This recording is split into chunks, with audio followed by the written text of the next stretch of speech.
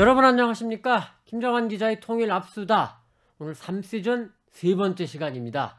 그리고 오늘이요. 2020년에 저희 통일 압수다 마지막 편인데 자, 마지막 하니까 어, 그럼 한 해 좀 정리를 해 봐야겠네. 내년에 또 뭐가 있을까? 전망도 해 봐야겠네. 이런 또 숙제가 있었습니다. 그래서 오늘 저희가 2020년 평가와 2021년 전망 이런 주제를 잡았고요. 자, 어떤 분을 또 모셔올까? 정말 고민 많이 했는데요. 북한을 정말 자세히 잘 아시는 분, 요런 쪽 생각을 좀 했습니다. 그래서 제가 좀 또 어렵게 모셔왔습니다. 어, 우리 북한학 연구에 정말 중요한 이제 학자 경력도 갖고 계시고 지금은 국책연구원이죠. 통일연구원 원장으로 계시는 우리 고유한 교수님 모셨습니다. 안녕하십니까 원장님. 네, 안녕하십니까. 네. 네. 연말이라 또 바쁘실 텐데 어, 여기까지 또 와주셔서 정말 감사합니다. 아닙니다. 뭐 이렇게 불러주셔서 감사합니다. 네. 그리고 오랜만에 뵙겠습니다. 네, 오랜만에 정말 뵙습니다. 자, 원장님 일단 네. 좀 몸풀기를 해보겠습니다. 저도 요거 좀 원장님한테 부탁드리면서 아유 요런 것도 나도 해, 좀 부탁드릴 수 있네 해서 약간 기분이 재밌었는데 연말 연초면 이제 뭐 사자성어들 얘기를 많이 하잖아요. 네. 올 한 해 한반도 정세 좀 사자성어로 좀 정리 표현한다면 어떤 말이 좀 좋을까요? 사자성어로 한 해를 추가한다는 건 쉬운 일이 아니죠. 그렇죠. 래서 저도 무슨 용어를 선택하는 게 좋을까 고민하고 또 막 찾아보고 하다가 사실 그 저의 사전에 없는 내용을 네. 찾아왔습니다.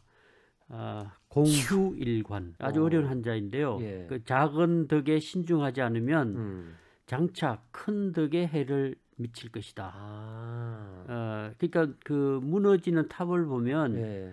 이 전체가 허술해서 무너지는 게 아니라 네.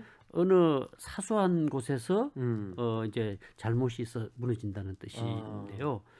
아. 어 그러니까 그 이 어떤 일을 할때 에, 사소한 일에 또 끝까지 신경을 써야 음, 음. 완성할 수 있다는 음, 뜻인데 음. 올 한해 그일 중에 나중에 한번 또 얘기가 있겠지만 네. 그 저로서는 이 남북 관계 이런 측면에서 남북 공동 연락 사무소 아, 6월에 있었던 네, 네. 그게 가장 그 어, 충격적인 일이었고 제가 이제 질문을 하나 드렸었던 건데 가장 기억에 남는 예, 아마 그, 그때 가서 다시 이제 거군요. 그거와 관련 지어서 아, 어, 이것을 이제 그 택했는데요. 그러니까 예. 공단 탑이 사실상 무너진 듯한 충격을 받았어요. 음, 맞습니다. 핵실험보다도 예, 예. 더저 개인적으로는 음, 충격적이었습니다. 음. 그래서 그리고 사실은 그 당시에 우리가 조금 더 했으면 저렇게 폭파까지 갔겠냐 그런- 이런 관, 좀 분석도 있었거든요. 그런 이제 우리가 그런 사소한 문제 뭐 사소한 문제일 수도 있고 큰 문제일 수도 그렇죠. 있는데 예. 우리로서는 사소하게 생각할 수 있는 음, 부분 음. 표현의 자유라든가 네, 뭐 이런 것을. 예. 내세워서 어 뭐 개인이 하는 일들은 음, 일일이 음. 다 이렇게 관여할 수 없는 부분도 있고 그렇죠. 그래서 그런 일이지만 저쪽에서 보면은 그건 뭐 수령 체제의 음, 음. 어떤 권위와 관련되는 부분이고 그렇죠. 어 음. 그래서 그런 그 탑을 완성할 때 에, 애써 공던 탑을 마, 마무리한 음. 삽을 더 이렇게 덧씌우면은 완성이 될 텐데 네, 네. 그 신경을 제대로 못, 못 써서. 음. 이런 문제가 생겼다. 뭐 그런 그거를 조금 이제 설명드리면 바로 제 첫 질문과도 연결이 되는데 사실 그 개성에 있던 우리 남북 공동 연락 사무소 이게 발단이 된 게 이제 6월 초였던가요? 일부 탈북민 단체가 대북 전단 살포를 하면서 이제 막 불거졌던 거잖아요. 네. 그러면서 얼마 전에 이제 국회에서 대북 전단 살포를 금지하는 이런 법안을 통과시켰고 또 그 뒤에 이제 우리 국무회의에서도 통과가 됐는데 요거를 먼저 현안이니까 하나 여쭤보겠습니다, 원장님. 지금 대북 전단 살포 금지 이제 말씀하신 대로 우리는 표현의 자유를 굉장히 중시하는 이런 체제인데 이게 국민 기본권을 막는 거다라는 목소리가 있고 하지만 또 한편으로는 접경 지역 주민들의 생존권 이런 문제도 있다 해가지고 만든 거긴 한데 의외로 지금 미국에서도 좀 반대 목소리도 있고 약간 좀 그래서 일부에서는 사실 전통적으로 미국의 이제 민주당 정부가 인권을 중시하기 때문에 이게 바이든 신임 새 행정부도 이 문제에 대해서 좀 불편하지 않겠냐? 뭐 이런 조금 우려도 있어요. 어떻게 보십니까? 그것은 미국의 정부의 공식 입장이라기보다 네. 미국의 그 하원 의원이라든가 네, 네. 이런 일부 인사들의 발언 또는 음. 인권 관련 이제 담당관들이 하는 원론적 수준에서 얘기라고 봐야 하겠는데요. 네. 어 그러니까 그 각국의 또 국내법이라는 것이 있고 그렇죠. 어 그래서 이것은 남북 사이에 상호 비방 중상하지 않겠다는 음. 합의가 있었기 때문에 그렇죠. 예. 그 합의 이행 차원에서 어 대한민국이 취하는 내부 법적 조치이기 음. 때문에 어떻게 보면 이제 내정에 해당되는 부분일 수도 그렇죠. 있고요. 예. 어 다른 뭐 표현의 자유라든가 이런 데서 근본적인 제한을 가는 게 아니라 음. 남북 사이에 그 한반도 평화라든가 이런 것을 위해서 서로 약속한 내용을 이행하는 음. 과정인데 그 부분에서 좀 이제 아까도 아쉬운 점을 얘기한 네, 부분이 네. 있는데요. 사실은 이제 우리 내부에도 어, 충분히 막을 수 있는 범들이 있죠. 음. 그뭐 전담 보내는 거를 경찰들의 좀뭐 제어할 수 직무 있는, 예. 집행법, 뭐 위험물 관리와 관련된 네, 직업 뭐 규정이라든가 또 해양 오염 방지법이라든가 이, 그런 다양한 그 예, 실, 현재 유지하는 법으로도 가능한데 음. 그런 일이 이제 생겼다는 거죠. 음. 그런- 그런 부분에서 관련 법규를 적용해서 잘 관리하지 못한 음. 그런 이제 에, 아쉬운 점이 있는데 아. 그래서 요번에 정비한 것도 흔히 뭐 대북 전단 금지법이라고 얘기하지만 그게 아니고 네. 어, 그 남북 관계 발전에 관한 법 네. 안에 네. 어, 한 조항에서 이 대북 전단과 관련하는 그 수정안이 네. 들어간 거죠. 네. 그런데 이제 많은 사람들이 아, 마치 별도의 법을 만든 것처럼 별도로 만들어서 또 오해를 하는데 아, 이것을 뭐 어, 부- 표현의 자유를 막고 어? 이런 식의 뭐 심지어는 이제 김여정 함영법 아, 뭐 그러니까 이런 식으로, 식으로 이제 합니다. 오해를 예. 하는 것 같은데요. 그러니까 남북 관계 발전에 관한 법은 어 2005년도인가 그때 만들어 가지고 5년 단위로 이걸 개정하고 그렇죠. 1년 예. 단위로 또 계획을 수립하고 음, 이런 음. 것들이 있습니다. 5년 네. 단위로 저 전체 또 네. 계획도 수립하고 또 필요에 따라서는 법률을 개정하기도 음. 하고. 근데 이전에는 사실 그 법을 만들어 놓고 법을 만든 주체가 제대로 국회가 그 이행을 강제하지 않았어요. 그렇죠. 맞습니다. 그래서 그 예, 예. 어, 저, 저도 이제 그 이전에 개성공단 그 폐쇄와 관련되는 음. 과정에 대한 검토 작업에 참여해 본 적이 있는데 그때도 어, 그 법률에 근거해서 했느냐 하면 그렇지 음, 않았었어요. 음, 음. 그 법에 의하면 충분히 그 정책 결정 과정에 협의 과정이라든가 검토 과정이라는 음, 게 필요한데 음. 정치적인 그 결단에서 그냥 닫아버린 그렇죠. 거거든요. 예, 예. 그런 것처럼 어, 남북 관계 발전에 대한 전반적인 내용들을 그 규정한 음, 법률이기 때문에 거기에서 현재 현실에 맞게 남북 관계 현실에 맞게 음. 이 개정하는 것은 뭐 우리 국내법적 절차이고 또 남북 관계라는 상호주의 차원에서. 절차적으로는 문제가 없는데 네. 이제 그러면 일단 원장님은 뭐 미국이 특히 이제 바이든 행정부가 출범하고 이 문제를 아주 적극적으로 제기하지는 않을 거다. 일단 이렇게 그건 보시는 거죠. 그렇죠. 미국은 근, 근본적인 인권 음. 큰 틀에서 음, 음. 그 인권 문제를 바라보는 거지 어떤 게, 물론 그 개별적인 사안도 큰 틀에 들어가겠지만 음, 어, 우리 정부의 이런 취한 조치에 대해서 어, 코 꼬집어서 음. 문제를 삼거나 그럴 것 가능성은. 높지 않고 물론 이제 하원이라든가 상원이라든가 그 의회에서 어, 다양한 의견들이 네, 제출되고 논의되고 뭐 음. 관련 그 북한 관련 인, 인권법도 그렇죠. 제정이 예, 되고 예. 또 제재 관련 음. 법률도 만들어지잖아요. 음, 그런 것처럼 하는 것이고 어 그래서 이 부분은 그 사실 우리에게도 주는 그 피해가 있고 음. 네. 그 대북 전단이 날아갈 때에그 북측에서 또 뭐 고사총으로- 쏜 예. 고사총으로 예, 쏘- 예, 쏘서 우리 쪽에 예. 피해가 올 수도 있고 아니면 그게 북으로 날아가지 않고 우리 측에 떨어지면서 예. 생길 수 있는 음, 또 음. 부작용도 있고 그리고 이 전단은 사실은 이제 심리전 방법이거든요. 그렇죠. 예. 그렇기 때문에 이게 이제 전시적인 그런 의미도 있- 있지 음, 않습니까? 그래서 맞습니다. 어, 다른 어떤 나라들도 요즘은 그런 원시적 방법을 사용하지 않잖아요. 음. 다른 예를 들어서 알 권리 차원에서 하는 다양한 방법은 이런 방송이라든가 음. 뭐 기타 여러 그 드라마라든가 예. 뭐 다양한 방법이 있기 때문에 음. 그 원시적인 꼭 그 방법만이 일부 사람들에게 알 권리를 충족할지 몰라도 또 내용이 지나치게 좀 자극적이고 네. 선정적인 이런 측면도 또 있긴 하더라고요. 허위 사실도 있는 것 같고 네, 네. 그런 등 문제로 해서 이번 기회에 어떻게 이제 보면 이제 득보다 실이 많을 네. 수 있는 이제 그런 상황인 것 같고. 자, 그러면 원장님, 그 이제 아까 올해 가장 기억에 남는 장면으로는 이제 공동 연락사무소 폭파 요걸 꼽아 주셨는데 여기서 또 하나 조금 여쭤보고 싶은 게 있습니다. 김정은 위원장이 그 공동 연락사무소 폭파 그리고 이제 그 9월이었죠. 9월에는 우리 서해상에서 우리 해수부 공무원이 또 이제 피격돼서 숨지는 사건이 있었는데 이 두 가지 큰 사안을 이미 다 당시 당시에 보고를 받았고 그다음에 당시 당시에 폭파시켜라 또 이제 어, 그 공무원 뭐 처리해라 뭐 이런 식으로 좀 지시를 했을 가능성 요거는 좀 어떻게 보세요?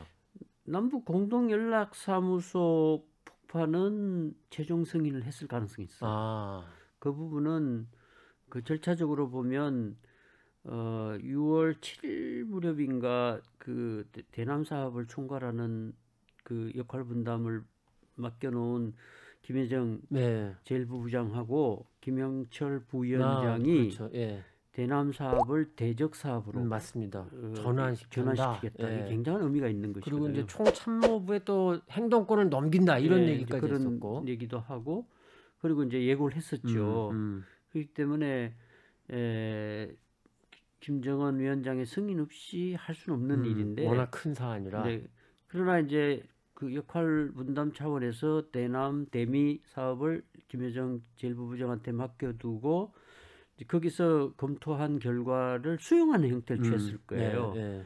지시하는 형태가 아니라 이제 하부에서 어, 논의된 결과를 종합해서 그런 건의가 올라왔으니 음, 음. 그럼 실행하라고 하는 사인을 했을 거예요. 음, 음. 그거 없이 할 수 있는 건 아닌 것 같고 그 서해상의 공무원 그 피격 사망 사건은 어 이미 이제 개성 지역으로 그 어, 우리 쪽으로 내려왔던 예, 그 예. 탈북 탈북이 돌아간 다시 예, 재월북한 사건으로 북한 내부가 발칵 음, 뒤집어지고 또 개성 전체가 어, 한동안 그 격리되고 그렇죠. 뭐 코로나 때문에 또 어. 그런 예. 적이 있고 그래서 아마 이제 그 국경 경비라든가 이런 데 대한 그 지침이 내려갔을 음, 거예요. 음, 그래서 음. 그, 그 지침을 적용하는 단위 음. 뭐 어느 정도 단위까지인지는 뭐 확인할 수뭐 없지만 현장 단위다 이렇게 말씀. 현장보다 더 윗단일 수도 아, 있겠죠. 아. 군부는 지휘 체계가 있을 네, 거니까요.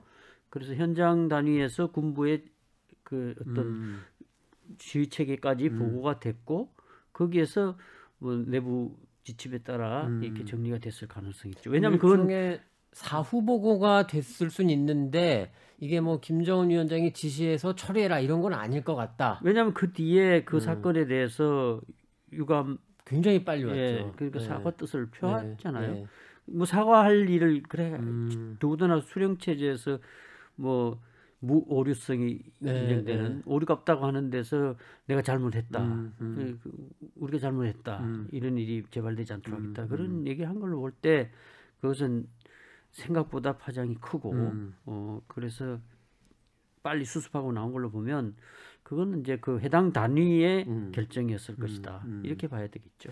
그리고 이제 올해 또 우리가 북한을 이렇게 바라보면서 조금 눈에 띄었던 게 김여정이었던 것 같습니다.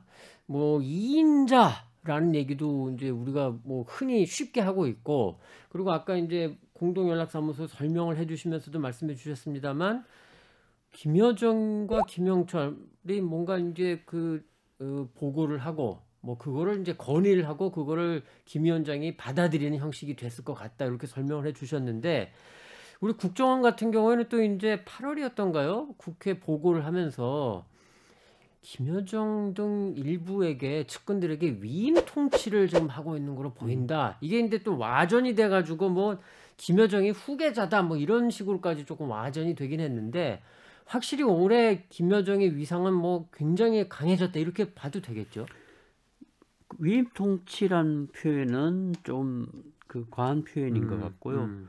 역할 분담 역할 분담. 또는 책임 분산 음. 뭐 이렇게 봐야겠죠. 수령 체제에서 어, 수령이 모든 것을 결정하는데 따르는 과부하라는 문제가 있을 수 있고 네, 네. 선대 지도자들도 보면은 사실은 그 수명이라는 부분에서는 그렇게 오래 못 살았거든요. 그렇죠. 다 심장마비로 네, 일찍 네. 사망했고 지금 뭐 현직 지도자도 여러 가지로 보면 건강에 뭐 그렇게 좋은 심장병 또 가족력이니까. 네. 예. 그, 거기다가 계속 어, 앞으로 뭐 얼마 또 종 그게 종신제니까요. 뭐 아직도 계속 통치를 해야 되는데 네. 에, 그런 부분에서 그 단위별로 어, 경제라든가 음. 대남 대회 뭐 총괄 뭐 이런 식으로 이제 나눠서 음. 어느 정도는 역할 분담을 했겠죠. 그래서 대남 대미 쪽은 같은 백두 혈통이면 그냥 혈통적으로 보면 그 혈통을 뛰어넘을 가게가 없잖아요. 그렇죠. 그- 네. 그러니까 그런 의미에서 뭐 공식 직함과 관계없이 음. 인자 역할을 한다는 거에 대해서는 뭐 누구도 그 북한 체제 속성상 음. 이의를 달 수는 없는데 에, 다만 저는 이제 그 과정에서 어, 김여정 부부장이 무리수를 좀 아. 음. 저질렀다. 네. 그, 그 연락사무소 폭파, 폭파. 같은. 그건 기- 어, 김영철 부위원장의 어떤 그 자문이 있었겠지만 음, 음, 그것은 누구도 유리하지 않는 그렇죠. 예. 북에도 사실 자기 땅에 있는 남측 음, 시설인데 음, 어쨌든 뭐 그것을 굳이 그렇게까지 음, 할 필요는 음, 없고 음. 어, 우리에게도 이제 그렇게 한다는 것은 그 한 번 남북 관계에서 어, 어떤 행위가 이루어지면 다시 복구하기 쉽지 않아요. 그렇죠. 예. 그건 그 2008년도 어 8월 달에 7월 11일인가요? 11일 날 그 금강산 관광객 아, 피격 이후에 사건 예. 현재까지 금강산 못 가고 관광. 사업이 예. 재개 안 되고 있거든요. 음, 그리고 개성공업지구도 박근혜 정부 때 하던 이후에 현재 음, 까지 있고. 복구가 안 되고 음. 음, 그러니까 그런 부분에서 북도 그, 그 당시에는 워낙에 뭐 그 전담 문제를 내부 그 수령 체제 권위를 훼손하는 걸로 보고 리더십에 상당히 이제 타격을 음. 주는 걸로 보고 초강수를 쓴다고 했지만 저는 그 좀 무리수가 됐다. 무리수하니까 어, 음, 그, 음. 그 부분에서 어 뭐 역할 분담해서 흔히 이제 에, 좋은 경찰, 나쁜 경찰 음, good cop bad cop. 네, 그 당시에 그 북미 그 하노이 no deal 이후에 생긴 여러 가지 불만 음, 음. 이걸 이제 남측에다가 좀 정말 그대로 보여준 보여주고 예, 예. 또 그걸 통해서 미국을 압박하는 어. 나름대로 이제 그리고 그 이후에 그 추가적인 행동 조치는 또 김정은 위원장이 나타나서 음. 좋은 경찰 국합 역할을 하면서. 하지 못하게 보류시켰고. 보류 시켜놓고 예, 예. 지금까지 이제 음. 현상을 유지하는 상황이잖아요. 그래서 그런 부분에서 그 이후에도 그 김영철 부위원장하고 김여정 제1부부장의 활동은 그렇게 두드러지지 않았어요. 그렇습니다. 예. 그래서 예. 아마 근신 중이 아닐까 하는 아하. 생각도 저는 좀 했었는데요. 최근 들어서는 조금 풀린 게 예, 아닌가 최근에 싶죠? 와서 이제 예. 다시 그 어, 스- 성명도 내고 하긴 네, 했는데 강경화 외교부 장관이 이제 어디 가서 말한 거에 대해서 이제 김여정이 또 담화도 내고 네. 이런 걸 보면 그렇지만 공개 활동이라든가 이런 부분에서는 상당히 위축되고 음, 있는 음, 듯한 느낌이 음. 있습니다. 북한 내부 하나 조금 여쭤보겠습니다. 이른바 삼중고지 않습니까? 네. 기존의 대북 제재에 코로나 19의 큰물 피해. 거기에다가 지금 보면은 통계 자료를 보면은 중국, 러시아와의 무역도 굉장히 격감했고 지금 북한의 상황을 혹시 90년대 중반 이후에 고난의 행군과 조금 비교해 본다면 어떨까요? 지금은 또 하나의 고난의 행군인 건 맞아요. 또 하나의 고난의 네, 행군이다. 그 지난 연말에 에, 정면 돌파전과 그렇죠. 이- 거기에 따르는 자력갱생을 선언했고 음, 음. 어, 그 앞으로 또 한 번의 이제 고난 행군을 하자. 음. 그래서 뭐 80일 전투 속도 전식으로 어, 계속 하고 있고 또 뭐 그 사실 그 고난 행군도 실제로도 하고 있죠. 백두산 행군 그, 그 많은 단위에서 예, 예. 그 항일 무장 투쟁 시기에 경험했던 그 백두산 칼바람 아, 이 그- 코로나 와중에도 예, 그걸 한번 맛을 봐야 된다. 예, 예. 그러면서 그 이 추운 과정에서도 가고 어, 그런 거 있는데 다만 이제 뭐 굶어 죽거나 음, 그럴 정도는 음. 아닌 거. 아사까지는 아니다. 네, 아닌데 음, 그거는 이미 그때 경험을 했기 음, 때문에 주민들도 나름대로 그 자구책을 마련해 둔 음, 것 같고 음, 어, 또 다른 한편으로는 제재나 또 셀프 봉쇄에 따르는 어려움을 그 내부 자원 동원 음, 그리고 그 내부 유동성 증가 네, 이런 네. 방식으로 어느 정도는 버티고 그 있다? 버티는 아하, 것 같아요. 아하. 그러나 어, 상층부 음, 그이 시장화가 진전되고 이- 이렇게 되면서 이제 특정한 돈주라든가 뭐그 이 시장 세력이라 그 네. 할 만한 이런 특권층들이 있는데 그들의 이익이 줄어들고 음, 어, 그게 균열이 생길 수 음, 있고 음. 불만이 생길 수 있고. 음, 어, 그래서 그 어, 리만건 조직 지도부장을 해임하고 예, 예. 그 강등시킨 적이 있고 네, 그렇죠. 그다음에 농업 그 부장했던 박태덕도 음, 어, 그 해임시키고. 음, 그 밖에도 그 평양의 살림살이를 결정할 정도로 그 정치국 회의에서 음. 아, 그랬죠. 그 인민들의 그랬어요. 예. 뭐 평양 주민들의 그 의식주 문제 음, 음. 또 제대로 공급이 안 음, 된다. 음. 이건 선대 수령들부터 그건 아주 평양에 특별히 그런 시책을 펼치고 어, 우선 자원의 배분의 우선순위를 네. 평양에 뒀는데도 불구하고 어, 그 어렵다는 건 음, 진짜 어려운 거죠. 음. 그리고 계획된 음, 평양 종합병원 건설도 원래는 당창근 75돌 그 정도 10월 맞춰서 10일. 예. 착공 뭐 완, 완공하기로 했는데 지금도 뭐 어떻게 되는지 모르고 네. 어 갈마 해안지구 그 관광지구 사업도 벌써 완공이 됐어야 된다 아직 그 그렇죠. 소식이 없고 예, 예. 뭐 평양 어대에서도 부정 비리 같은 내용이 있고 음. 그래서 공개적으로 내부의 어려움을 그대로 얘기하고 있다. 음. 지난번 그 당창근 75돌 공개 연설에서도 어 인민들의 예, 생활에 예. 대해서 음. 그 일종의 북쪽식으로 하면 자아 비판에 가까운 그렇죠. 예. 자, 자기의 부족함을 음. 인정하고 음, 어, 고맙다는 표시와 함께 사실상 미안하다는 그 사과 표시도 했고 음. 뭐 이럴 정도로 어렵습니다. 어려운데 그뭐 그 통계 수치로도 나타나니까요. 네, 네. 뭐 수입 수출 관계로 보면 외화 보유가 정해져. 있는 데서 예. 연간 20억 이상의 외환 수지 적자가 났는데 음, 음. 고갈되는 건 음. 뻔하잖아요. 네. 그래서 지금 뭐 여러 가지 어려움이 있는 건 분명한데 그렇다고 해서 이제 예, 굶어 죽는 고난 행군하고는 좀 음, 다른 음. 음, 그런 의미.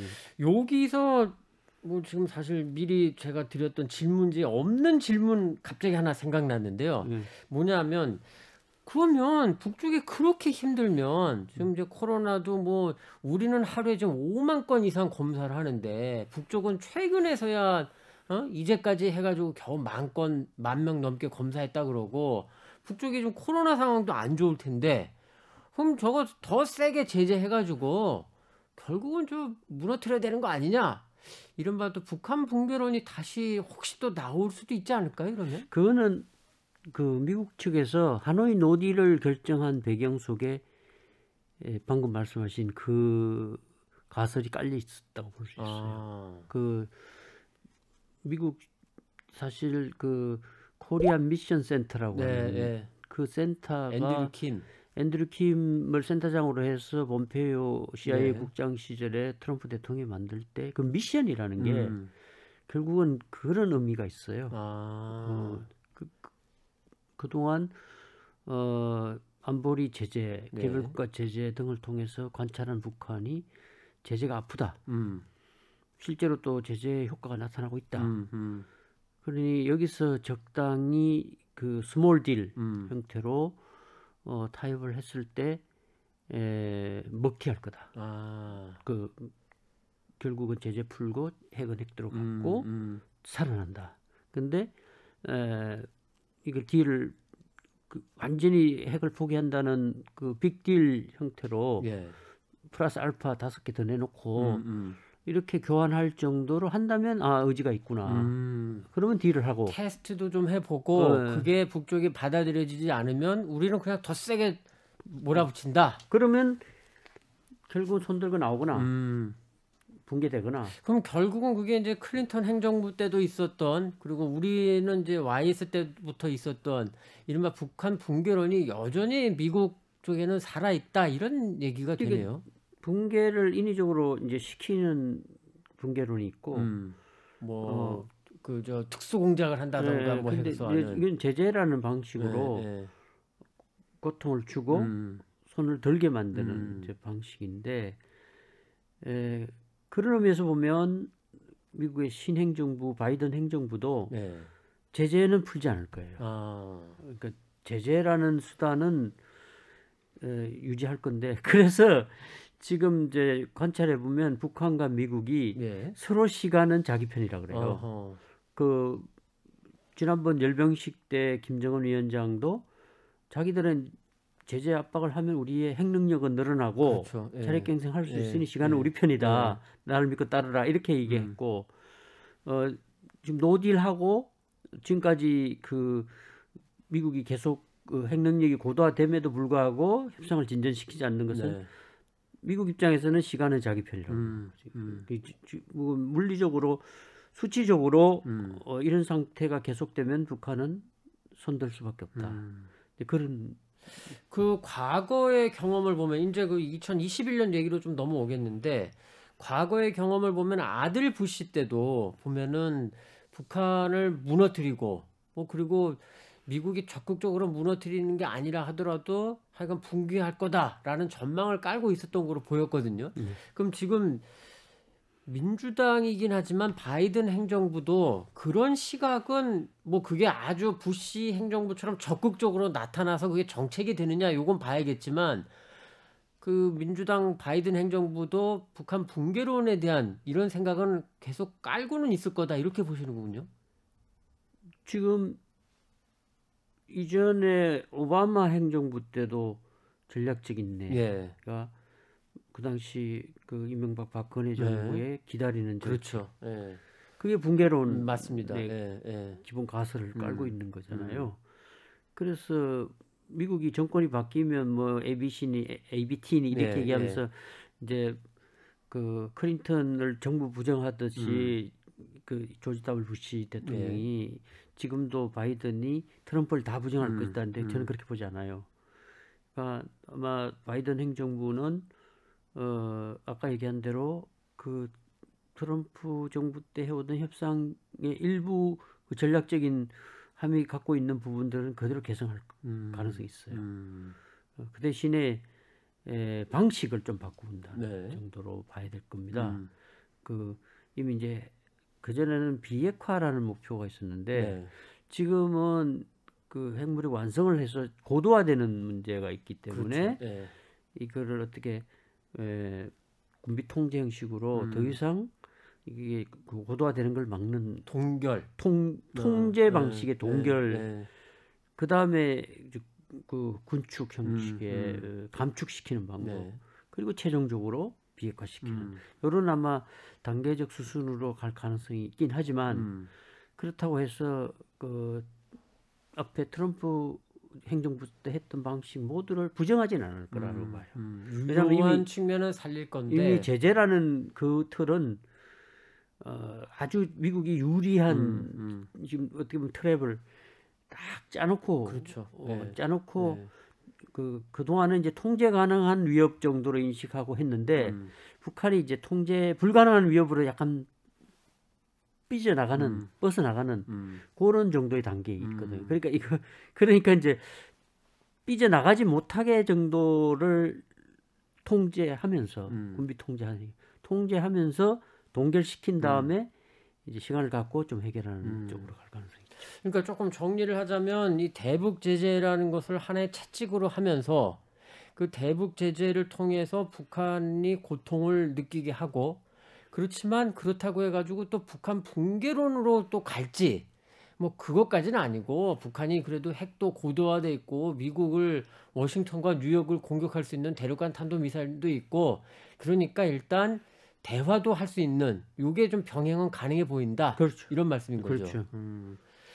자, 그 조금 더 얘기, 얘기를 여쭤봐야 되는데 여기서 21년 사자성어 잠깐 뭐 짧게 좀 말씀해 주시겠어요? 뭐 쉬는 의미로. 다른 거는 다 뭐 뭐라도 얘기할 수 있는데 사자성어 얘기하라니까 이게 제일 골치 아파. 그래서 이도 아주 어려운 걸 또 하나 찾아왔어요. 네. 전도 요원. 전도 요원. 음. 앞이 앞으로 갈 길이 아득히 멀다. 아. 어, 올해가 그러니까 내년 2021년 정말 좀 만만치 않다. 네. 이렇게 좀 보고 계신 예, 거군요. 그 왜냐하면 이- 역시 잘 될 때 잘해야 돼요. 음. 저는 아까도 그 얘기를 했는데 사실 우리가 잘 할 수 있는 기회가 있었잖아요. 그렇죠. 네. 음, 그 2018년 평창 동계올림픽을 계기로 사실은 이제 북한 지도자가 비핵화 의지가 있었어요. 음. 그런데 그냥 비핵화는 아니고 음. 조건부 비핵화. 그렇죠. 조건이 맞아요. 조건. 예. 그러니까 이제 그 조건은 그동안 자기들이 개발하는 이유 음. 원인을 제거해 줘야 되거든요. 네. 근데 그 원인이 북미 적대 관계. 음. 그 미국이 적대시하지 않겠다, 군사적 위협 가하지 않겠다, 평화 체제 음. 이런 조건을 충족해 주면 우리가 핵을 가질 이유가 없다. 음. 이런 조건인데 저는 자꾸 그 뒤에 완전한 비핵화 이쪽에 자꾸 무게 중심을 두고 조건 충족에 네, 예. 실패했다. 음. 저는 그 한국과 미국 모두 모두 예. 그거는 이제 교환 프로세스로 봐야 그렇죠. 되는데 네, 어느 네. 일방이 상대방에게 무장 해제하라 그러면 안 하거든요. 음, 음. 할것 같으면 벌써 했겠죠. 음. 그래, 그래서 그걸 이제 조건을 충족시키면서 만들어내야 되는데 음. 그 부분에서 어, 이걸 교환 프로세스로 봐야 되는데 음, 음. 어, FFVD니 뭐 CVID. CVID니 예. 결국은 선비핵화거든요. 그런 방식으로 하니 북에서도 이 최고 지도자가 결심을 한다 해도 어, 고난 행군까지 겪으면서 핵을 완성했는데 완성과 함께 버린다니까 그 그렇죠. 밑에서 예. 따라오겠어요. 약간 그게 형용 모순이 음, 그렇죠. 우리도 합리적 의심을 예. 할 수밖에 예, 없고 예. 그랬어야 되는데 이제 우리가 만나본 김정은 위원장은 군더더기 없는 비핵화를 약속했다. 음. 그, 그 메시지를 이제 우리가 미국에 전달을 하고 음. 다만 그 앞에 조건부가 있다는 것도 전달을 했는데 네. 그러면 그 이후 진행되는 프로세스에서 이 교환 프로세스라는 의미의 이 로드맵을 만들어야 돼요. 음.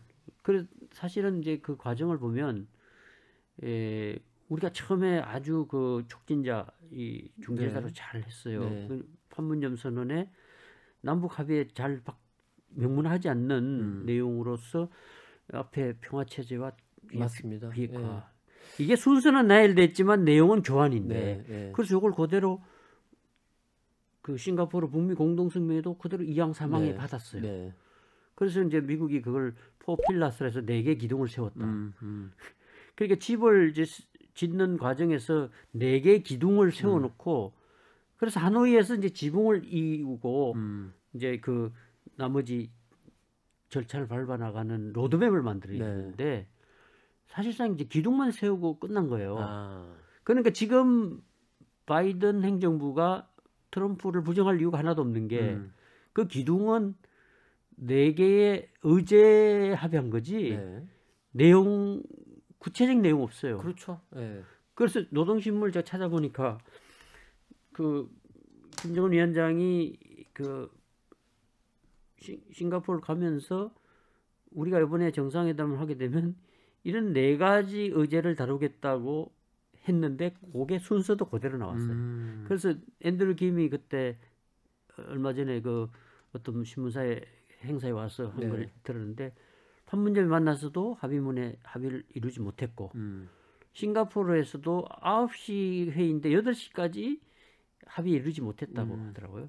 그러니까 결국은 북이 제안한 그 네 가지 의제를 합의문으로 받고 나머지는 구두로 음.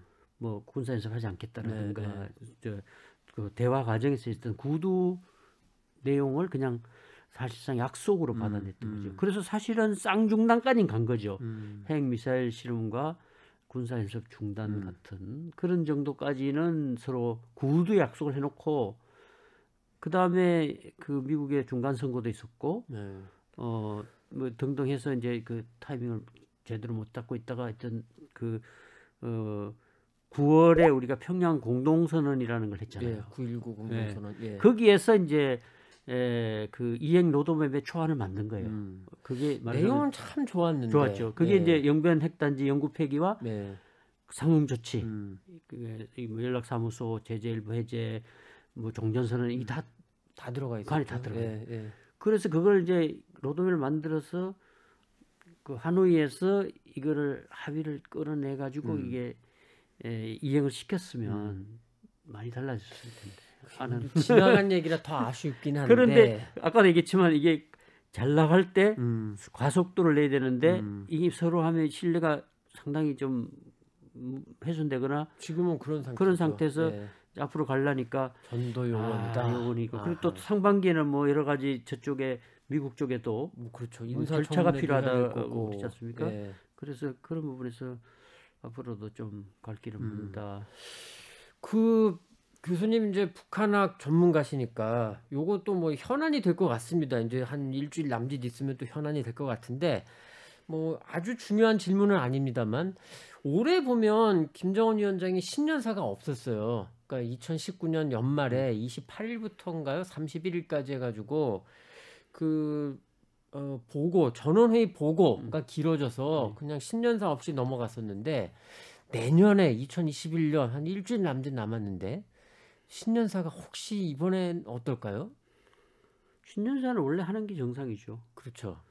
근데 제가 여쭤보는 게 8차 당대회를 한다라고 했기 때문에 그러니까 펄자당 대회가 다소 아직 확인이 잘 안 된다 그래요. 음, 한다고는 했고 그렇죠. 연초한다고도 했고 또 그게 마, 맞추어서 그 당의 결정을 국가 정책으로 반영하기 위한 최고인민회의도 네, 이를. 하순이라고 네. 한다고 했는데 어, 그동안 한 얘기로 보면 1월 초 음, 하기로 돼 있는데 그게 1월 초도 어느 정도 초인지 정확히 알 수가 없고 그렇죠. 예. 그래서 1월 8일 김정은 위원장의 생일에 맞춰서 아, 한다면 뭐 그때까지 갈 음, 거고요. 음, 그렇다면 그 신년사는 그 하는 게 맞, 는 거예요. 음. 지난번에 그 어, 7기 5차 전원회의인가 그 연말에 예, 한. 거는 예. 그 연말에 결국은 했고 음, 그 행사가 뭐 1월 1일 길어졌고, 바로 예. 직전했기 때문에 예, 그 예. 전원회의 결과가 대치한 것처럼 돼버렸죠. 어, 그- 예. 그 이상 뭐 나올 얘기가 없으니까 예, 대처할 예. 가능한데 음, 이번의 경우는 그 당 대회는 5년 네. 계획을 세운 음. 대회이기 때문에 원칙적으로 하는 게 맞죠. 음, 신년사도 있을 것 같긴 하다. 원칙적으로는 음. 전 있는 게 맞는데 음, 그건 두고 봐야겠죠. 그 일부에서는 그런데 지금 이제 우리 교수님 원장님도 말씀해 주셨습니다만 8차 당대회 일정이 좀 계속 안 나온다. 음. 근데 그렇게 보면 아예 바이든 1월 20일에 취임하는데 바이든 취임식 그러니까 취임사를 보고서 그러고서 이게 또 당 대회를 하지 않겠냐 이런 좀 관측도 그 하거든요. 부분은 저는 그 그렇게 설득력이 높진 않다고 봐요. 음, 뭐 왜냐하면 취임사라는 건 말 그대로 그 원칙적인 방향만 얘기할 테고 뭐 꼭 취임사 보지 않더라도 음, 어느 정도는 알 텐데 거꾸로 어 북이 당대를 먼저 하고 대미 어떤 메시지를 선제적으로 던지고 아, 어 그게 상하는 어떤 것도 반응이 또 있는지 보고 예, 음, 그것도 가능하기 음, 때문에 음, 에, 그 북한식으로 표현하면 자주적이지 못하지. 그렇죠. 예, 그 그렇죠. 스스로 어, 자기들이 연초하겠다고 했고, 음, 근데 뭐 미국의 취임을 보고하자, 음. 그건 우리식 해석이지. 뭐 일부 전문가가 또 그런 의견을 내시길래 그 우리식 해석이지. 예. 북한식으로 해석하면 자주적이지. 못하죠. 아, 왜냐면 자기들이 아, 계획을 음, 세워놨는데 음. 왜 에, 저쪽 얘기를 음. 먼저 듣고 까지 기다렸다가 음. 일정을 바꿀 수 있는. 그럼 하여간 지금 시점에서는 이제 당 대회가 어떤 내용을 담고 있느냐 이제 이게 중요하잖아요. 그 일단 뭐 조금 분류를 해서 그 북한 내부의 대내적인 메시지 또 이제 대미, 대남 이렇게 조금 나눠 본다면 조금 한번 전망을 좀그 해주시면. 1월 원래는 5년 단위고 지난 그 2016년 16년, 5월에 예, 질차했으니까 뭐 그런데 보통 또 10월 당 예. 창건일에 맞춰서 할 때도 있고 그런데 연초로 당기는 것은 이제 정상 국가화되는 느낌도 있긴 있어요. 음, 음. 모든 회계가 네. 1월부터 그렇죠. 시작됐고 예, 예. 그리고 최고인민회의도 4월에 4월 했던 했는데 걸 이번엔 1월 일월로 땡겨서 예. 그 모든 일정을 당 대회와 최고인민회의를 그 1월로 맞춰 가지고 어 국가 계획이나 뭐 다- 당의 어떤 그 전략 계획이나 이런 음. 것들을 그렇게 가자 그런 의미인 걸 수도 있고 그리고 이, 이미 그 지난해 연말에 발표했던 내용에 비춰 보면 제재대 자력갱생의 이제 정면 돌파전이거든요. 네, 네. 장기전이고. 네. 그러니까 뭐 여러 가지 그 외부 변수를 고려하지 않고 자기식의 계획을 세우겠다는 뜻이에요. 아. 그 우리식 발전 계획이지 음, 일종의 이 그런 의미로 보면 어 뭔가 개혁 개방이라든가 뭐 획기적인 어떤 변화를 기대할 그런 건 만한 사실 내용 기대 안 합니다. 예, 기대할 수도 네. 없을 거고 그건 기대는 안 하는데 어, 사실 제 느낌은 그 지난번에 그 비핵화를 전제로 한 발전 계획 네. 그 그게 2018년 4월에 했던 사회주의 경제 건설 예, 예. 총력 노선. 총력 집중 예, 노선이잖아요. 그 노선을 이제 그거는 대외 관계를 풀고 예. 음. 어 그 경제를 발전시킨 전략인데 예. 이 부분에서는 대외 관계가 풀리지 않은 것을 전제로 음. 한 어떤 내부 자원 동원이라든가 음, 뭐 전통적인 사회주의 국가와의 어떤 관계 음, 푼다라든가 이런 방식의 에, 다소 보수적인 음. 내부 혁신 계획 뭐 조금 못한 표현입니다만 진짜로 그렇게 간다 그러면 뭐 북한 주민들, 북한 인민들 참 볕들 날이 여전히 없겠네요, 사실. 그런데 자세히 보면 그러면서도 그 그들식의 인민들에게 무슨 그 어, 시혜를 베푸는 음. 그, 그 이를테면 그 관광 휴양 네. 이런 예. 거 많이 온천 뭐저그 갈마 금강산도 이런데. 지금 예, 마찬가지잖아요. 예, 그 외자 유치를 하는 게 아니라 북한식으로 한다고 음, 음. 하잖아요. 그래서 인민들에게 그 내부에서 그런 휴양도 즐기게 음, 하면서 음. 이제 뭐 자기들만의 다독거려주는 예, 음, 그러니까 핵을 가진 전략 국가로서 음. 어, 자부심을 심어놓고 내부 자원을 동원하는 방식으로 어, 뭔가 최소한의 음. 그걸 충족시키면서 음. 어, 자기 길을 가겠다. 근데 이제 그런 게 우리가 보기엔 좀 답답한 거죠. 북한의 내부 자원이 도대체 뭐가 있을까라는 생각도 있는 거고 세상이 이렇게 빨리 바뀌는데 참 답답하다 이런 생각을 좀 갖고요. 자, 미국과 우리 한국 남쪽에 또 메시지가 그래도 좀 있지 않을까요? 당연히 있겠죠. 예. 뭐 그- 미국에 대해서는 뭐 아까 이제 교수님 말씀하신 원장님 말씀에 저도 굉장히 공감하는데 조건이 맞으면 뭐 이게 이제 또 나올 것 같기도 하고 그리고 사실 거기서 조금 눈여겨봐야 될 게 남북 관계가 조금은 그래도 좀 좋아지지 않겠냐 이런 기대가 있는 것 같은데 어떻게 보세요? 그 부분은 이제 코로나로 지금 손을 못 잡고 있지만 네. 코로나가 해결되면 언제라도 잡을 수 있다고 지난 그 열병실 그렇죠. 연설에서 한 문장 딱 들어갔어요. 이제 열어둔 예. 상황이니까 예. 그 부분은 언제라도 남북 관계는 그 우리 민족끼리라든가 뭐 음. 여러 가지 에, 그 내부 통치 이 논리상 닫을 수는 없을 텐데 음, 어, 다만 내용적으로 보면 민족 담론보다는 국가 담론이 아. 상당히 부각되고 음, 있어요.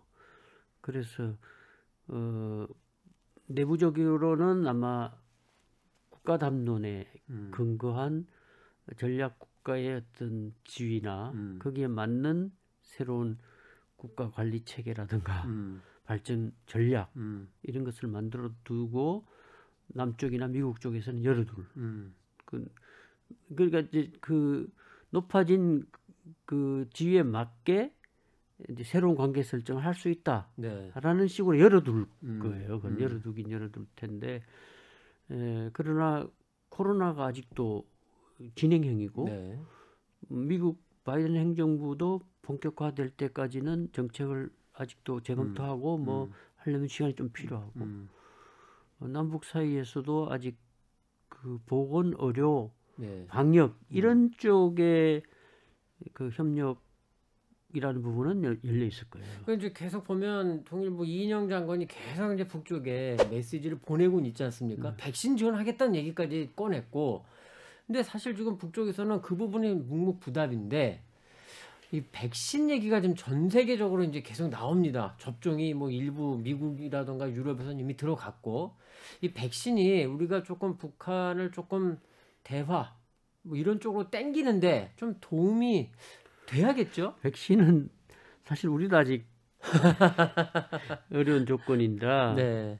아 이게 또 말이 좀 조심스럽네요. 네, 그래서 그게 보니까. 그게 뭐그 우리보다는 오히려 중국과 러시아가 아, 중국 러시아 그 백신 외교를 할 가능성이 있다는 음, 얘기들이 음, 있어요. 음. 그 같은 사회주의 국가이고 어 요청하면 어, 중국 러시아는 지금 아직도 검증은 덜 돼도 시- 접종을 하고 있는 그렇죠. 상황이거든요. 대규모 접종이 이미 들어간다고 하니까. 예. 그런 차원에서 어, 특히 중국 쪽에서 음.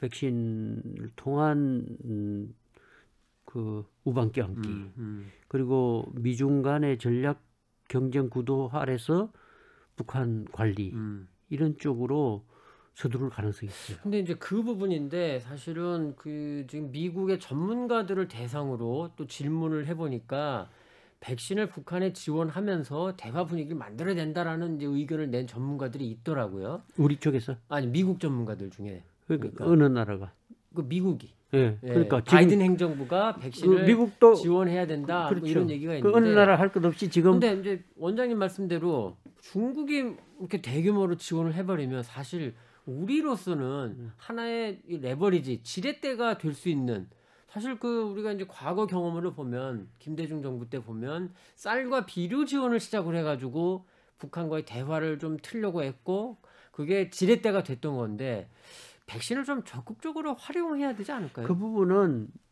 그 세계 그 백신 공급 네, 을 코백스, 코백스라는 예, 게 예, 있잖아요. 예. 저는 그런 기구를 통해서 아, 약간의 우회 지원. 예, 우리가 음, 그 자금을 그 필요한 기금을 제공하고 음, 지금 북이 그 우리 단독으로 주는 거에 대해서는 아직도 그렇죠. 마음을 열지 예, 않고 예, 있어요. 예. 그러니까 신뢰를 쌓을 때까지 예, 국제 그런 기구들을 음, 통해서 어, 지원을 그러니까 너무 우리가 생색 낼 필요는 없다고 봐요. 음, 음, 신뢰를 쌓으려면 음. 그래도 나중에 그 도움을 받는 쪽은 알거든요. 그렇죠. 예. 그러니까 우리 국내 여론도 또 복잡하고 음, 그렇기 때문에 저는 직접 지원 방식도 가능하다면 하는 게 좋지만 음. 현실적으로 어렵다면 음. 차라리 그 세계 보건 기구를 통하든 음. 국제 그 백신 네. 관련 기구를 통하든 어 그런 쪽을 통해서 지원하는 게 좋다고 보고요. 음. 쌀 5만 톤 지원도 지금 받고 있지 않는데 네, 예. 이후에 그 WFP를 통해서 영양 지원하는 국제 컨소시엄 그 프로그램은 받아들이고 있어요. 음. 그게 우리가 천만 그렇죠. 달러 네, 예. 승인했거든요. 그런 그런 식으로 음, 어 아직은 좀 분위기를 음, 만들어 나가는 작업을 하다가 어, 어느 정도 시기에 지금은 아마 정상들이 풀어야 될 거예요. 음. 그 밑, 아까도 밑에서 지금 역할 분담해서 네. 악역을 한 사람들하고 바로 이렇게 풀기는 쉽지 않거든요. 그렇죠. 아무래도. 그래서 그 네. 위에 이제 그 국합 역할 하는 음, 쪽과 음, 우리 정상 음, 수준에서 음, 이걸 풀고 어, 이- 그 과거에 이제 그런 불편한 관계를 풀고 음, 관계 설정을 하고 할 때까지는 뭐 직접 지원 노력은 하겠지만 현실적으로 어렵다면 음, 국제 관련 기구를 음. 통해서 조금 규모를 저는 키울 필요가 있다. 그렇죠. 예. 자, 시간이 많이 가고 있습니다만 요 질문 조금 드려야겠습니다. 이제 바이든 행정부 출범이 이제 한 달도 안 남았습니다. 그런데 출범을 한다고 해도 바이든 대통령 입장에서는 당장 뭐 코로나 문제 있죠, 경제 문제 있죠, 뭐 인종차별 같은 이제 국론 통합 문제 있고, 그리고 최근에는 러시아의 집중적인 해킹 공격을 받았습니다. 거기다가 중국 문제, 중, 대중 정책 어떻게 할 거냐 이게 또 있고, 이란 핵 문제 있고, 동맹과의 그 복원, 뭐 리더십, 그 지도력 뭐 복원 이런 문제도 있고, 이것만 생각해도 북한 문제 조금 바이든 대통령 입장에서 빨리 해야 될 필요성을 못 느낄 수 있어 보이는데 그렇다면 또 김정은 위원장 입장에서는 어, 나한테 관심이 너무 없는데 하면서 뭔가를 또 이렇게 쏘는 거 아니냐 이른바 도발을 할 수 있는 거 아니냐 이제 이런 분석도 있어요 사실 그게 어느 정도 현실적일지 모르겠지만 원장님은 좀 어떻게 보세요? 그럼 이제 패턴을 갖고 많이 그렇죠. 얘기하는 거죠. 네. 그, 그, 그건 핵 개발 단계에서 음, 음. 어, 과거 미국 정권 교체기 때 예. 계속 그런 그 행동들이 있었기 때문에 그렇죠. 예. 그 연장선에서 보면 지금도 뭐 가능성을 배제할 수는 없겠지만 지금은 핵 보유국이라고 스스로 선언했고 네, 네. 외부 세계에서도 북한 핵 능력에 그 어느 정도의 그 보유국으로서의 능력을 갖고 있다고 그렇죠. 예. 그 어, 최근에 미국도 이제 정권 교체기 때 미국 전문가들하고 우리도 화상 음. 그 세미나 같은 걸 많이 해보면 그 미국의 전문가들 아주 보수적으로 얘기하는 분들도 20기에서 30기 음. 아주 그 좀 많이 보는 분들은 100기까지 보는 분도 어. 있더라고요. 음. 그 군사 전문 예. 학자인 브루스 베넷 같은 음. 분은 그렇게까지도 해군대학교. 그- 네. 어, 그 랜드 연구소에 있는 그런 분 그렇게까지 보는데 어쨌든 그 적게 20개에서 많게 60기 음. 정도 어 그리고 뭐 다른 능력도 웬만큼 이제 갖추고 있는데 다만 ICBM 또 SLBM 네. 이 부분이 그 완성은 안 됐다고 보는 경향이 있기 때문에 그와 관련한 추가 실험 음. 또그 단거리 발사체 네. 이런 부분은 그 김정은 위원장 시대 와서는 새로운 무기 체계가 개발되면 곧바로 네. 실험해서 보고 싶어 하는 바로 하더라고요. 그- 예. 그거는 뭐 거의 새로운 무기가 개발됐다는 보고가 올라면 그냥 그대로 음, 음. 보자 이렇게 음. 되는 이제 그게 있어서 단거리 이제 발사체 부분은 장담할 수 없지만 지금 트럼프 임기 중에는 사실상 못할. 거고요. 예. 누구나 뭐 트럼프 대통령이 에, 불복하고 있는 상황에 음, 음. 뭔가 먹잇감을 찾고 있는데 음. 거기에 뭐 어, 북한식 표현으로 섭쥐고 불에 뛰어들 이유는 음. 없잖아요. 기름지고 예, 예. 그런 그, 그런 거고 또 전략적으로 봤을 때도 지금 그런 도발이 어떤 이득이 있는가 음, 음. 우, 우리가 냉철하게 음. 그것도 계산해 봐야 되고 음. 저는 그- 크게 가능성은 득될 게 많지 않다. 득될 게 없다고 음, 보고 음. 지금 이제 일체 발언을 하고 있지 않습니까? 그러니까 그것도 참그 그렇더라고요. 아주 관리를 하고 있거든요. 음. 그거는 그 김정은 위원장 수준에서 상황 관리를 하고 있다는 음, 거예요. 음. 그래서 그런 의미에서 보면 지금은 과거와는 좀 다를 거다. 다를 거다. 네, 음, 네, 그렇게 음. 봐야 될 거예요. 자 마지막 질문 드리겠습니다. 이게 마지막 질문 이어야 되는데 미중 관계가 참 그 우리 한반도에 정말 직접적으로 영향을 미칠 것 같습니다. 이미 미치고 있고 그 전에는 그래도 우리 대북 정책, 뭐 북한 핵 문제 이게 미중 관계와는 조금 별도로 움직이는 측면이 있어 보였는데, 근데 갈수록 미중 대결 속에 이게 특히 미국의 이른바 인도 태평양 전략 그 하위 단위로 미국의 대북 정책이 들어갈 수 있는 거 아니냐 이런 전망이 나오는데 뭐 약간 추상적일 수밖에 없습니다만 요 부분 조금 한번 짚어주시죠. 이전에도 미중 전략 구도에서 한반도 문제가 다뤄졌다고 봐야 되죠. 아 이전에도 음, 북한 핵 문제가 해결 안 된 것도 사실은 어, 미국의 대중국 전략, 네, 동아태 전략 음, 속에 북한 위협론을 통한 대중국 전략이라고도 아, 봐야 되거든요. 그러니까 북한이란 위협 국가가 있다는 걸 계속 남겨놔야 중국을 견제하고 군사적으로 예. 견제하고 포위하기는 쉽다. 미사일 방어체제 음, 구축이라든가 음, 음. 사드 같은 네, 네. 그런데 그때는 그게 통제 가능한 위협으로 생각했었지. 그렇죠. 예. 근데 지금은 아까도 설명드린 것처럼 통제 불가능한 음, 음. 위협으로 이제 삐져나가 버린 거잖아요.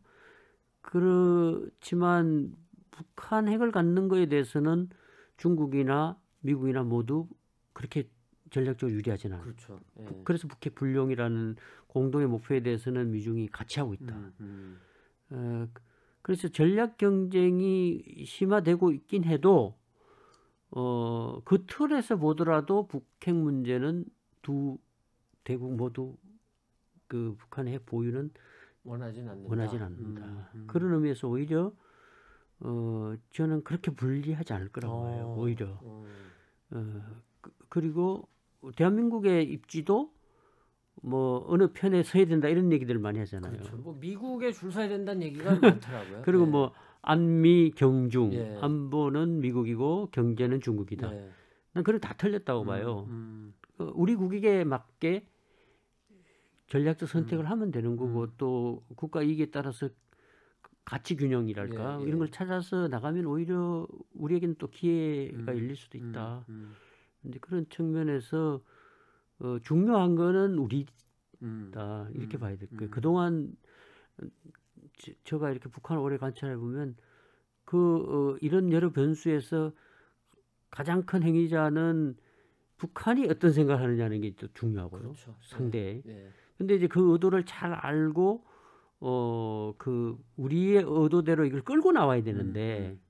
그 노력에 인내심이 부족했고 음, 음. 관련 국가들도 계속 정권 교체라든가 음, 이런 게 그렇죠. 예. 예, 있었고 그래서 지금 이제 다시 세팅이 됐기 때문에 음, 이렇게 관찰해 보면 리셋 음, 이제 바이든 시대에 리셋을 해야 돼요. 음, 음. 그러니까 북한도 아마 당 대회 때 북한식 리셋을 할 거라고 봐요. 아, 예, 할 거라고 봐요. 음, 그래 되면 이제 한국 정부가 우리가 그동안 해왔던 그 방식이 있고 음, 또 새로운 리셋되는 환경이 있으니까 네, 네. 여기에 에, 창의적인 안들을 좀 많이 만들어서 어, 주변 국가들과 협력해서 어, 이 프로세스가 음. 반드시 성공할 수 있도록 아까 음. 공든탑 무너졌다 했지만 그 다시 쌓아서 예. 이제 완성을 해, 음, 해서 음.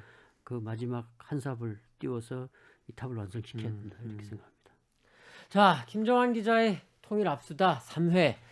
2020년 한 해 이렇게 또 정리를 해봤습니다. 공휴일관. 이거를 우리가 잘 또 교훈으로 삼아서 2021년 전도 요원 쉽지는 않지만 또 잘 풀어가는 이런 전략적 사고, 뭐 전략적 지혜라고 할까요? 이런 걸 좀 잘 찾아야겠다 싶습니다. 아유, 원장님, 뭐 긴 시간 좀 좋은 말씀 감사합니다. 네, 감사합니다. 네. 음. 자, 오늘 3회 조금 길었는데요. 그래도 좀 끝까지 잘 좀 봐주시면, 그리고 이렇게 또 같이 봐주신 분들 모두 감사하고요. 좋아요와 구독 부탁드립니다. 고맙습니다.